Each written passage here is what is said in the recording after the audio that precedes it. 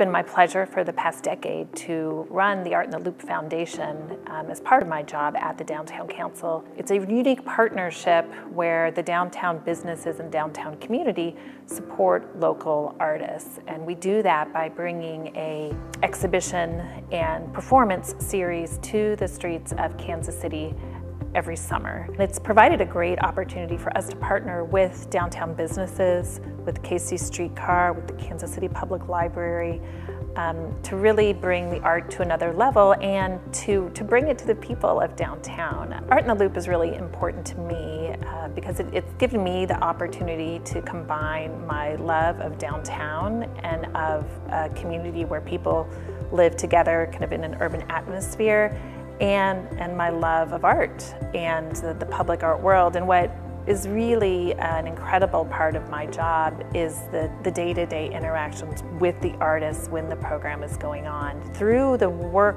in Art in the Loop, we've really actually grown to now where we're including artists um, in all aspects of our work at the Downtown Council because we want their creativity to fuel the growth of downtown Kansas City.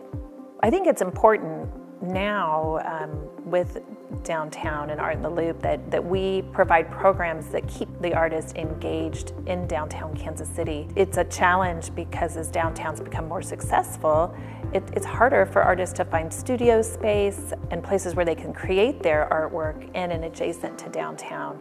So that's a way where we're thrilled to support the Kansas City Artists Coalition and their new studios um, because that's an effort to provide affordable studio space for artists in our center city. Art in the Loop has had a, a great opportunity to, to, partner with the Kansas City Artists Coalition through the years. They often do a focus on how to do public art, and, and we've been pleased to participate in that with um, many of our artists who have learned about the process of how to do public art um, via those sessions at the Kansas City Artists Coalition. The Kansas City Artists Coalition annual auction is an incredible event and it's a great opportunity to you know, experience hundreds of pieces of art and the artists all at one time in that exciting um, atmosphere of an auction uh, where really anyone can find a piece of artwork to take home. It's truly art for all.